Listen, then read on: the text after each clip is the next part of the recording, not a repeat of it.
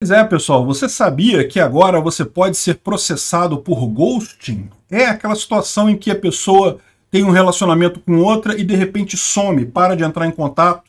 Isso é ghosting. E isso você pode ser processado por isso. Olha que coisa, hein? Será mesmo? Vamos entender esse assunto? Essa notícia foi sugerida por 123 de Oliveira 4 e várias outras pessoas. Obrigado aí ao pessoal que sugeriu a notícia. Obrigado a você que está assistindo o nosso vídeo. Se você gosta do nosso conteúdo, por favor, não esqueça de deixar o seu like e de se inscrever aqui no nosso canal, né? Pois bem, olha só, essa tese aqui é do Dr. Jones Figueiredo Alves e eu vou, com, com a devida vênia a ele, discordar do nobre colega. Uh, ele fala aqui sobre a tese que ele explora nesse artigo, é sobre a ilicitude civil do ghosting. Ou seja, uh, que, que, chama, o que quer dizer ilicitude civil? Ilicitude civil quer dizer não é criminal, né? ou seja, não é um crime você fazer esse tipo de coisa, o ghost não seria um crime, mas seria um ilícito civil. Ilícito civil pode ser indenizado. Então, se a pessoa se sentiu atingida por aquele ilícito civil que você cometeu, por você ter abandonado aquela pessoa, ela pode entrar na justiça e requerer a, a indenização por isso, né? requerer uma, um dinheiro por isso. E aí ele conta aqui uma história sobre os casamentos na, no Japão, a, a, cerimônia de divórcio no Japão, muito tocante, quebrando a, a, a, aliança e coisa e tal, e a, a, ideia dele aqui é dizer que é importante você dar um fechamento. É, é, lógico, como toda relação, você não pode ser obrigado a ficar naquela relação, se você não tem interesse mais em namorar a pessoa, em noivar a pessoa ou em casar com a pessoa, você tem o direito de sair da relação, mas é a sua obrigação na visão dele aqui, é pelo menos dar um fechamento, virar para a pessoa e falar, olha só, estamos encerrando e coisa e tal, e coisa e tal, e acabou e não quero mais falar com você e pronto. Aí tudo bem, isso aí não tem problema. O erro é quando a pessoa simplesmente para de entrar em contato com a outra, né? E aí ele separa aqui uma, uma série de casos, né, de situações que já aconteceu, por exemplo, uma situação lá na primeira vara de Iguape, em São Paulo, em que um, um rapaz foi, uh, foi obrigado a pagar a indenização à ex-companheira porque a expulsou de casa repentinamente e outras situações também, mas repara, aí, aqui não é ghosting, né? É, é uma coisa diferente. Ghosting realmente é quando você tem uma relação e de repente você para de falar com a pessoa. E o problema desse tipo de coisa, eu vou explicar o que, que é. É porque, na verdade, é, é o ghosting real, realmente da pessoa sumir é, até acontece, é verdade, mas é mais raro. O que acontece com mais frequência é uma briga que uma das pessoas quer reatar e a outra não quer. E aí a outra para de falar, essa daqui que quer reatar entende isso como um ghosting. Isso é a situação mais comum de acontecer, né? Tanto que dos vários casos que ele mostra aqui, nenhum deles se enquadra nisso. Por exemplo, ele diz aqui, ó, o, o ato ilícito de rompimento sem justificativa de um noivado às vésperas do casamento. De novo, eu acho que isso daqui é um erro indenizar isso daqui, porque a ideia do noivado até o casamento em si, se você lembra a cerimônia do casamento, chega um momento que o padre pergunta ali para você se você quer mesmo casar ou não quer. Essa pergunta não é retórica, não. Essa pergunta faz sentido, porque casamento é um compromisso enorme. E é, é, melhor você dizer não ali, você acabar o casamento ali, na hora do casamento, do que aceitar casar e depois dar problema no casamento. Então é melhor, a, a coisa ali é séria, é para você realmente decidir ali o momento da decisão. Então, se a pessoa decidiu antes do casamento que não quer mais casar, é, talvez indenização pela festa e coisa e tal, né, não sei, eu, eu, eu, acho que não teria direito a isso. O noivado é justamente para você testar, para ver se a coisa vai funcionar direito. Se decidiu não, é melhor.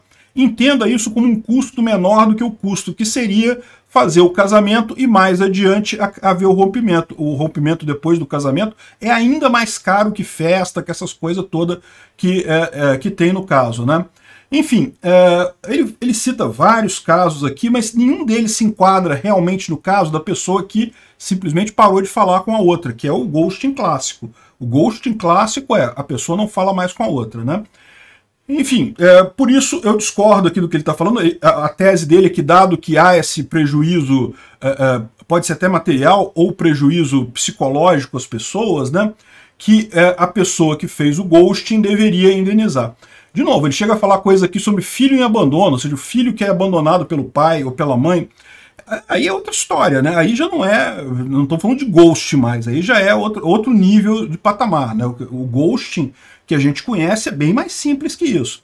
Enfim, ele continua aqui e essa é a tese dele. Isso deveria ser indenizável. Né? Resumindo de forma muito é, simples, é lógico, ele tem vários outros argumentos aqui, você pode ver, ele, ele fala muito mais coisa aqui, mas em linhas gerais o argumento dele é esse. E o meu contra-argumento é o seguinte, é que na verdade o ghosting puro, você pode ter indenização por, por exemplo, abandonar filho. Eu acho que abandonar filho tem que ter indenização mesmo, mas é, é, o ghosting puro de você simplesmente não quer mais se relacionar com a pessoa e para de falar com ela, não deveria ser problema. Não é problema na ética libertária. Na ética libertária você não é obrigado a fazer nada. Você pode ser proibido de fazer algumas coisas, mas você não pode ser obrigado a fazer nada, né?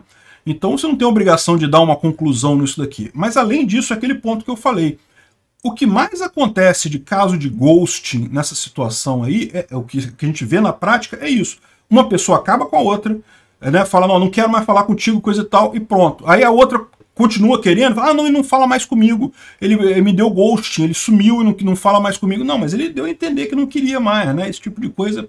E é até engraçado esse tipo de situação, porque é o tipo de situação que é altamente assimétrica, né?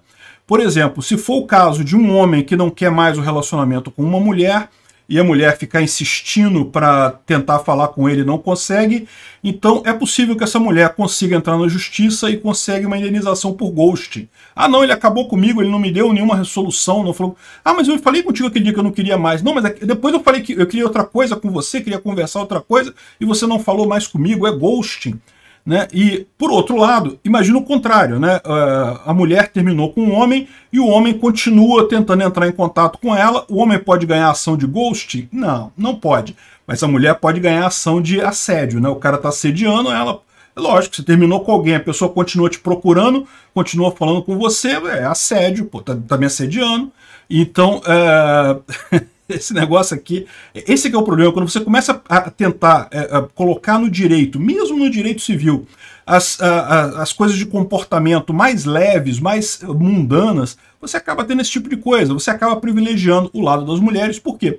Porque tipicamente o que é o resultado disso daqui é simplesmente um resultado de entendimento psicológico do sexo frágil, né? Existe esse, esse entendimento na sociedade humana.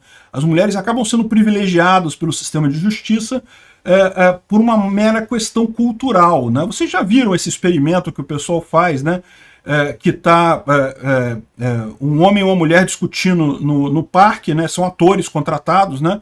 discutindo no parque, em determinado momento a mulher dá um tapa na, no rosto do homem. E aí o repórter, né, o pesquisador, pergunta para uma pessoa que assistiu aquilo quem que ela acha que está com a razão. A pessoa não ouviu nada, nem sabe o que eles estavam discutindo, só viu que eles estavam discutindo e de repente a mulher deu um tapa no cara.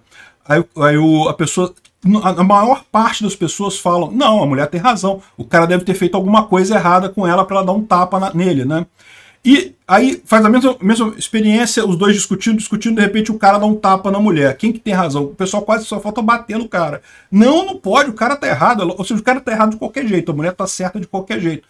E é incrível como é que essa percepção de, de favorecimento, é, digamos, social ou cultural das mulheres acaba é, entrando na justiça. E aí você tem esse tipo de coisa. Você pega detalhes que são coisas muito leves, coisas que, ok, eu, eu concordo, é uma coisa reprovável, você deve dar uma satisfação para a pessoa, é, é, é, mal educado fazer esse tipo de coisa, mas é uma coisa que, poxa, né, é, ninguém tinha um compromisso assinado. O compromisso é justamente o casamento. O casamento é quando você efetivamente assume o compromisso ali, né? Enfim, se preparem, rapazes. Parece que o negócio está ficando cada vez mais complicado, né? Não pode, não pode dar mole, não pode parar de falar, não pode correr atrás, não pode fazer um monte de coisa aí. Obrigado por assistir o vídeo até o final. Além de curtir, compartilhar e se inscrever no canal, considere se tornar patrocinador com valores a partir de R$ 1,99. Clique no botão Seja Membro abaixo para saber as condições e vantagens de patrocinar o canal. Mais informações sobre o nosso projeto, visite nossos sites indicados na tela.